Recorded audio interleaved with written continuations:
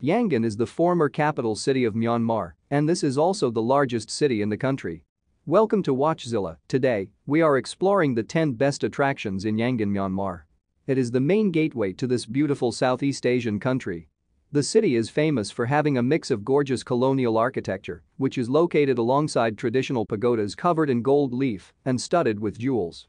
As you wander around the city, you can also enjoy delicious street food bites. Myanmar is also well known for good food, such as mohinga, coconut noodle, and lafat thot. You can also visit some of the more modern parts of the city to have a rooftop cocktail as you take in the glittering monuments and limpid lakes for which Yangon is so famous. If you don't have much time to visit Myanmar, then this is also a good choice as Yangon is close to other spots that make an easy day trip, such as Pon and the Golden Rock. Number 10, Botataung Pagoda. The presence of not one but two pagodas in Yangon housing strands of Buddha's hair is kind of a big thing in the city. Botataung Pagoda is the second place you can see them.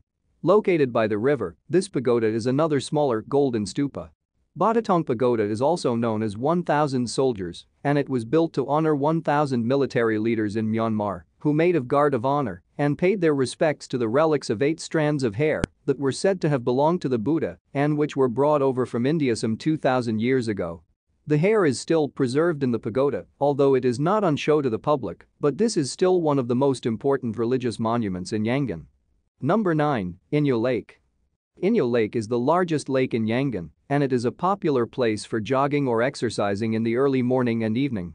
Created artificially by the Brits to offer a water supply to the city, its function has transformed over the years and it's now used for sailing and rowing. It's located close to the home where Aung San Suu Kyi was under arrest. The lake also backs onto lush gardens, and the area is also known for its scenic villas, which are owned by many of Yangon's elite. It's now an amazing area to hang out at, with the gorgeous view of the lake, and you'll be around many Burmese locals around you. When you visit Inya Lake in the late evening or night, it is common to find couples walking by the lake and teenagers playing guitar. Bring some snacks and bottles of beer and sit on a picnic mat or bench, which enjoying the view of the lake. Or head on over to an eatery on the shore and enjoy a meal while surrounded by the beautiful lake. Number 8, Chinatown. Yangon has a sizable Chinese population, and as you would imagine it also has its own Chinatown. Chinatown in Yangon usually refers to the area of 24th through 18th Street, west of the Sule Pagoda in downtown Yangon. Going to Chinatown is definitely one of the most fun and culturally immersed things to do in Yangon at night. This is one of the best places to visit in the city if you are looking for local markets, as well as a whole plethora of barbecue and street food options. It's one of the busiest and most action-packed areas of town, especially in the evening when the sides of the streets teem with food vendors selling everything from fresh produce to ready-made things to eat. The food in Chinatown whether it's barbecued skewers on the street corner or whatever else strikes your fancy can be a nice change if you've had a little too much Burmese food lately. 20th Street is known for its Chinese food like rice congee and grilled pork skewers. 19th Street is known as the Barbecue Street, a side road that's lined with Chinese restaurants that have glass cabinets full of all things skewered ready to be chosen and barbecued up. Just grab a table at one of the restaurants, choose the skewers you want, and relax as your food is cooked. If people watching is your thing, you're going to be in your element here.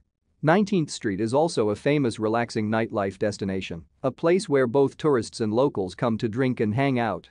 Chinatown is also one of the best places to not only shop and eat, but also take in the pretty architecture in this part of town, which is quite different from other locations. Number 7, Kandawgyi Lake. Can't get enough of Yangon's spellbinding sunsets?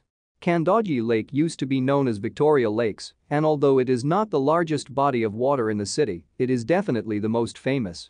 This beautiful park in downtown Yangon can be a great place to find some peace away from the bustle of downtown Yangon plus, it's got beautiful views of Shwedagon Pagoda as well as the large golden boat pulled by incredible dragons. The lake is located on Bajia Park and is known for its boardwalk which wraps around the water and is the best place to go for a stroll in the evening. You're not quite taking your life into your own hands, but every step is a small leap of faith as many of the boards are loose and old. It is however, worth the careful stroll, taking you past the exceedingly posh Kandawgyi Palace Hotel and over countless lily pads. Take a walk along Kandawgyi Lake as it reaches dusk and watch as the reflective reservoir waters mirror the gleaming Shwedagon Pagoda as the sun goes down. Lakeside cafes are aplenty, so nestle into a good spot after your stroll and soak up the serene atmosphere. Just make sure you have water and some sun protection with you, as once you get out into the middle, there is no shade and no going back. Additionally, home to a small park, a kids' playground, a paintball attraction, and the reconstructed Karaweik Palace, the enthusiastic traveler will definitely not tire of things to do at Kandawgyi Lake. You can also enjoy dinner with the puppet show inside the Kandawgyi Palace. Depending on when you visit you can also find musical performances held in the park. Curious visitors should also visit Utopia Tower, where the giant pile of artificial rocks houses restaurants, bars, karaoke, snooker, and a viewing deck. Number 6. National Museum of Myanmar. It is almost essential to visit a city's museum when you are traveling. If you want to walk through some of the history in Yangon, then you need to head to the National Museum. Here you will find a whole range of Burmese artifacts as well as galleries filled with antiques and other regalia that date back to the Konbaung dynasty. There was a wealth of artifacts, religious relics, artwork, cultural explanations and ethnicities, and tons of golden objects from the royal courts of Myanmar. Discover gems like the chandeliers from the colonial-era State House and the dazzling 26-foot high Sihasana that belonged to the last king of Myanmar, King Thibaw Min.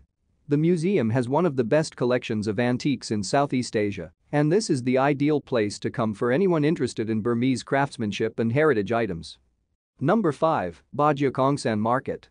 Another relic of British imperialism in Yangon, this market formerly known as Scott Market is worth visiting for the architecture alone. But it can also be a great place to shop for jewels, tapestries, paintings, wood carvings, or any other handicraft souvenirs that you're looking for in Myanmar. On the outside of the market are a number of European-looking cobblestone streets that set up more like a bazaar. Home to more than 2,000 shops and boasting the biggest selection of Myanmar handicrafts and souvenirs, it is no wonder the Bogyoke Aung San market is always bustling with locals and tourists alike hosting an assortment of shops that sell everything from Shan shoulder bags to chili-coated pig organs, there really is something for everyone. There's even an amazing antique shop up on one of the upper floors. Additionally, the market is known for its underground money changers, where jewelry merchants are able to change your notes. There's a large selection of things to purchase all in one area, and it's a nice clean market in a good location. The recently built Junction City shopping mall is located across Bogyoke Market and a bridge connects these two areas. A helpful tip for shopping in Bogyoke Market is that you may bargain for half the quoted price. So, flex your bargaining powers to stretch your shopping budget. Number 4. Chaukhtatgyi Buddha Temple. Just northeast of the Shwedagon Pagoda is Chaukhtatgyi Paya, a remarkable temple that houses one of Myanmar's most adulated reclining Buddha statues. Chaukhtatgyi Buddha Temple is known for having a statue of a reclining Buddha which is 217 foot long and is one of the largest in Myanmar. Thankfully, some thoughtful soul has constructed a viewing platform to make the process that bit easier. Originally, there was a standing Buddha statue in the same place, but about 50 years ago it toppled over and was eventually replaced with a reclining version. This is one of the most beautiful Buddha statues in this part of the world and the attention to detail that was put into this monument is amazing. The face was worked on several times as it was said to look too severe when it was first made, and you can now enjoy all the intricate details and design touches up close. You can even take in the long eyelashes of the Buddha as well as inscribed feet which make this well worth the trip as the temple lies outside of downtown Yangon. There are 108 unique symbols inscribed in the Buddha's feet that represent the former lives of Buddha before attaining the enlightenment. A small shrine and the Shui Min One Sasana Yikta Meditation Center are also located within the temple complex for you to greater immerse yourself in the tranquil nature of the temple. You can also visit the Ngar Tat Ji Pagoda, which is located across to see the statue of the sitting Buddha. Number 3. Sule Pagoda. Although not nearly as impressive as Shwedagon Pagoda, this pagoda is also interesting to visit, especially because it's frequented by more of a local crowd. In contrast with its newly constructed surroundings, the 2,500-year-old Sule Pagoda is the oldest in Yangon, and its prominent location meant it was the scene of protests during some of the most significant moments in Myanmar history. The Sule Pagoda, also known as Sule Paya, is made up of a 46-meter stupa that is shaped like an octagon. Whether you plan to visit or not, you'll probably end up near Sule Pagoda at some point anyway believe it or not, the pagoda is set right in the idol of a traffic circle in downtown Yangon and you'll find that many of the major roads in the area lead straight to it. You can now walk around the pagoda and check out all the architectural motifs inside the main building, and the walkways are an oasis of calm in the middle of the bustling city. The area is also home to numerous government buildings and offices and a center for bus and road transportation. So why not pop inside and enjoy the shade for a little while? Number 2, Yangon Circular Train. Before you fret about not having enough time for the rest of Yangon, hop aboard the Yangon Circular Train for a ride you won't forget. Myanmar trains are legendary for their bumpy rides, frequent derailments and excessive delays, but it's all part of the journey. Myanmar is known for epic railway journeys, and many of the train lines here were built during the British colonial period. The beautiful colonial train station is well worth a visit itself, and the Yangon Circular Train offers a fantastic opportunity to experience it for yourself. The best way to go around Yangon in the cheapest way is to ride Yangon Circular Train, and you can also have interactions with local people on the train.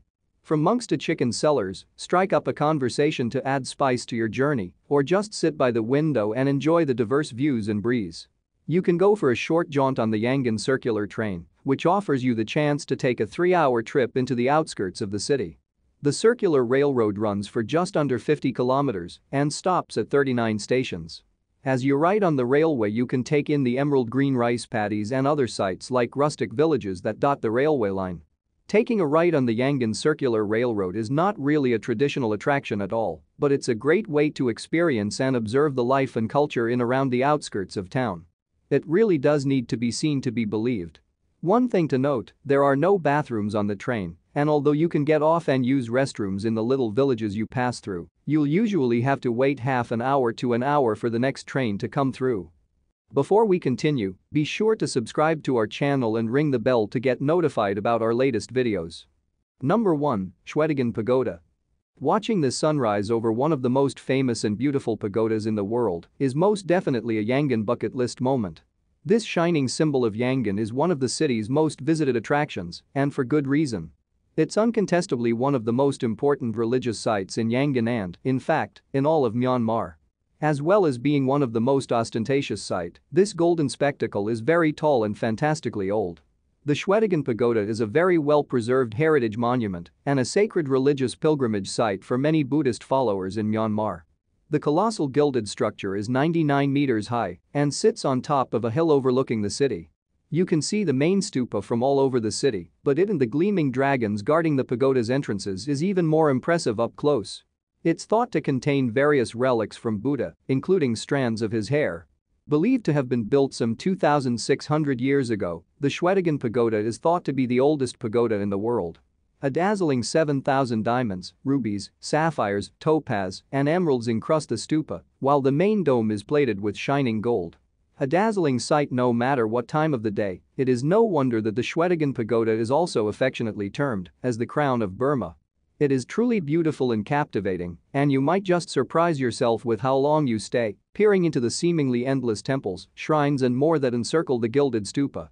It's also a fabulous people watching spot from tourists and worshippers to monks and wedding parties making their way around, and not to mention it's truly magnificent at both sunrise and sunset.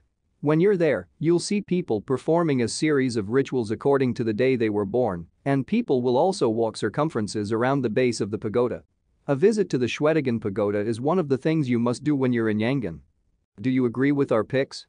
Check out this other recent clip from Watchzilla and be sure to subscribe and ring the bell to be notified about our latest videos.